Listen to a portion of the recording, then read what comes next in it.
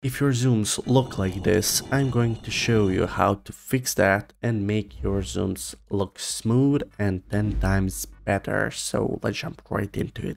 Okay, so we are in DaVinci. So here I've already set up two clips. One will be showing you how to do it in the edit page and the other one is a bit more advanced and it will be showing you how to do it in Fusion. So don't worry, if you just follow my steps, you will be able to do it in Fusion too. And it's not really that hard. So yeah. So let's say we want to zoom this in. Let's go, I don't know. Let's just zoom in a bit and go somewhere around here. Okay, just keyframe our zoom go some 10 frames forward so 1 2 3 4 5 6 7 8 9 10 like this and then keyframe it again and just zoom it to 1.2 something like this. So let's see how it looks. It looks very linear and very rigid and also our let's say here is our eye line. It just moves up and we can actually try to fix it by adding a positions keyframe. So let's go back. Let me show you. Let's keyframe it here and go to the other one, keyframe it again. So we can do something like this to maybe try to offset that. Yeah, so now, now it looks better, but there's actually easier way to do that. So I'm gonna show you how to do it now. Let's just go from the beginning, go somewhere around here, keyframe it again and go some 10 frames forward. So 1, 2, 3, 4, 5, 6, 7, 8, 9, 10. Okay, we have it here. Let's keyframe it again and zoom to 1.2 again. And next thing we can do is just adjust our anchor point. So let's just bring it down a bit. The good thing about this is you don't have to keyframe it because the anchor point sets up automatically and it will just zoom up to there. So let's see it now. Okay, it looks better, but still it's quite rigid. So what can we do? We can add an ease in and ease out. It's very easy. So just go to your first keyframe, hover over it and just press right click and press ease out and go to the next one right click and ease in. So let's see how it looks now. Oh, that already looks a lot more smooth. So also let's say that now you want to zoom out to the original position, you can actually do it quite easily. Just set one keyframe, go again 10 frames forward, 1, 2, 3, 4, 5, 6, 7, 8, 9, 10. Keyframe it again and just type in 1.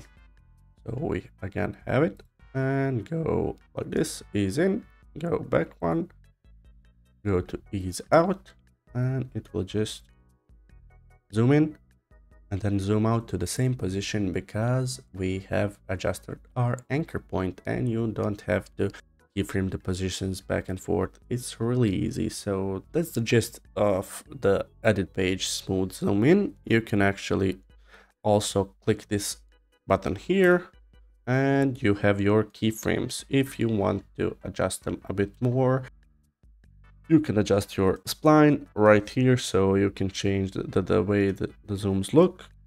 As you can see, we can make it faster when we zoom in and zoom out. So here you can just adjust how you want your spline to look. It's very easy and you can experiment with it however you want. And you can actually create some interesting zoom, zoom in effects or zoom out effects. So yeah, that will be all for the edit page. And now we can jump in to our Fusion page. So let's zoom out a bit. Here I've set up just some basic scene for us to edit as you can see, just some background, some pictures and some text stacked on one on top of the other. What we can do actually, just click here and hold shift and click on the last one and just create new compound clip. Name it whatever you want. So now we just have our photos and everything else in our compound clip. Next thing we are going to do, let's go to the effects, get our adjustment clip and just drag it out to be the same length as our clip. Okay, click on the adjustment clip, then go right click and open in Fusion page. So now that we are in Fusion, we can go click on our media one and then press shift plus space and this pop out will out and just then type in transform and just press enter. Now we have our transform and Okay, since we are in Fusion, now we don't have our zoom controls, but we do have the size controls, and that's what we are going to be using for our zoom in and zoom out. So just go 10 frames forward and keyframe our size, and then go maybe 15 frames forward and keyframe our size again. So next thing we do is on the second keyframe, adjust our size level to something like 1.8. Okay, now we have something like this, but it doesn't really look good. So what can we do to fix it? This time we are going to actually use our center values to adjust our zoom. We are not going to use the pivot because as you can see, we have three subjects that we want to zoom to and from each other. So we are going to be using center values. So let's go to the first keyframe, keyframe our center and go to the second and keyframe our center again. And on the second keyframe, just adjust our center to something like this. Okay, so let's go to the beginning and see how it looks. So now it's just basic linear zoom in. Okay, let's click on our transform. How can we smooth it out? We are going to do that by using the spline tab, which you can find on the upper right corner of the program. Click on the spline, click on our transform here, and then just zoom everything to fit click here to select all of them and then just press S. So now it will look something like this. It's really smooth now. Okay, so now that we zoomed into him, we can actually go and zoom in to the left subject and then to the right one. Okay, how do we do that? Let's go some again 15 frames forward and keyframe our center and size again. And again, go 15 frames forward and keyframe it again. On the second time we keyframe them, we can actually go and do something like, let's fix our y value and our x value to bring him in and we can get our zoom down to maybe to something like or up actually we can get our zoom to something like 2 okay? And just readjust our x and y value and we have him here. But again it looks too linear and we can actually do the same thing again. Just click zoom to fit here and then press s to smooth them out. Let's see the whole thing now. Zooms in and zooms into to him so right now we want to go to the right subject. Let's again go 15 frames forward. Click keyframe, click keyframe, again 15 forward. Again, keyframe 1 and 2.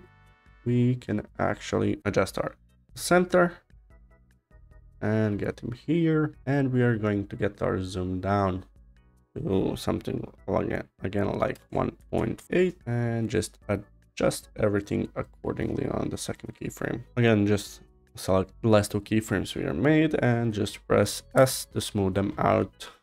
So now it looks something like this. It looks very smooth and very nice. And let's say that we want to go back to the full picture. Again, go 15 frames forward, keyframe the center, keyframe the size, again 15 forward, keyframe the center, keyframe the size, and let's get our size down to 1 and our center values to 0.5 each. And again, select last two keyframes and just smooth them out. And that should be it. So let's see how it looks now. Let's close our spline tab, make this a little bit bigger, zoom in, and just show you how it looks like. Let's go from the beginning. It zooms in, goes to the next one, zooms out the next one, and zooms out back. And it's very smooth. So again, you can go to the spline tab. Let's zoom out to fit. And as you can see, we have our spline here and you can adjust these spline values however you want, really. It's up to you. You can create some amazing zoom ins and zoom outs, but it's just a basic of smooth zoom ins and zoom outs. Next thing we can do to actually make it a lot better is add a motion blur.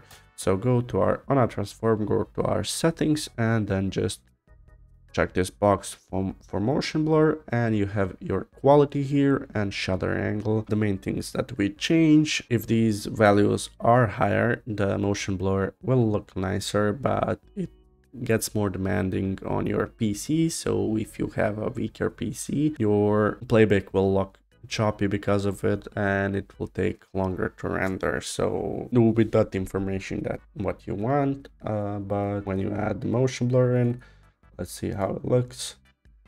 As you can see, it has a nice motion blur and zooms in and out. And that motion blur makes it a bit more realistic of zoom in and zoom out. So yeah, you can increase your quality and shutter angle however you want and it will change the way it looks. So let's go back. As you can see, looks something like this maybe it's not too much but you get the gist of it so yeah so that's it on how to make smooth zooming in DaVinci Resolve and if you have more questions please leave a comment down below and I will try to answer it also if you want to learn more advanced video editing techniques that that Iman Gadzhi uses you can watch this video right here